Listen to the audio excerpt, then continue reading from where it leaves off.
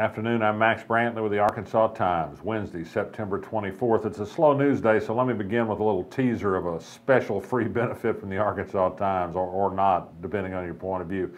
I'm going to take two weeks of vacation starting tomorrow, not to worry. We'll have somebody filling in on the daily video.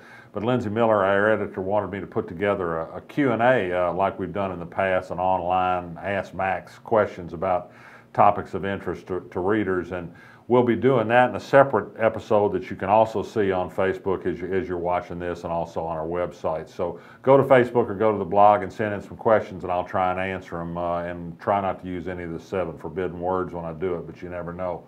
On our blog today, a couple of articles I recommend. One is by David Ramsey, our insurance expert. He takes to task the Republican members of the Arkansas congressional delegation who sent a letter to the Arkansas Insurance Department yesterday raising questions about rate increases and possible health insurance cancellation. They're just based on either misinformation or else they're simply dishonest. These things are not going to happen. We already knew they weren't going to happen because of rules changes and, and information that was already in hand. So read David Ramsey, he'll explain. Benji Hardy, who's covering insurance issues at the state capitol for us, reports on discussions about doing something about the teacher insurance crisis. Will it be a merging of the state system with the teacher system? Some support growing for that, but it looks like a long shot. Would they privatize school systems? Probably not.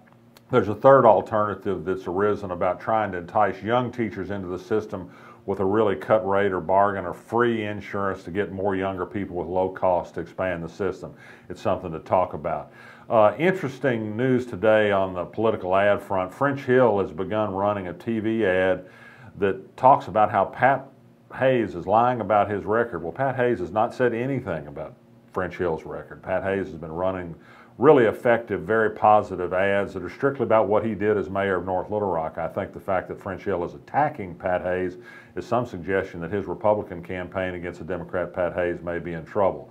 We learned uh, yesterday and this morning that Leslie Rutledge, the Republican candidate for Attorney General, simply plans to stonewall inquiries about what is clearly a uh, unacceptable job record when she was a staff attorney for the Department of Human Services.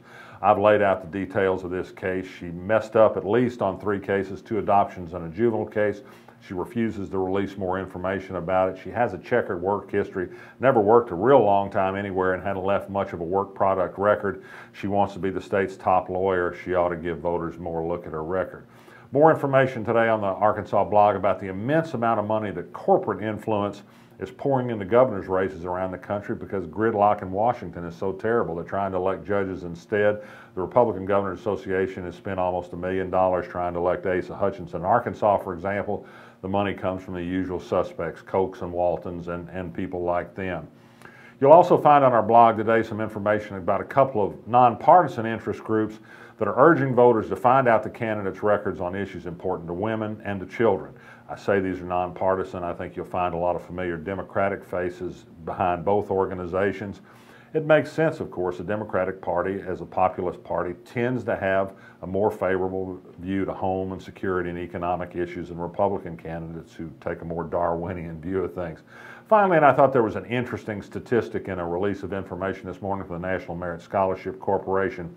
The National Achievement Scholarships, which go to promising black students, there were four, six, excuse me, 16 of them in Arkansas this year have been named semifinalists. Four of them, 25% of the winners are from Little Rock Central High School. The Little Rock School District gets a hard time.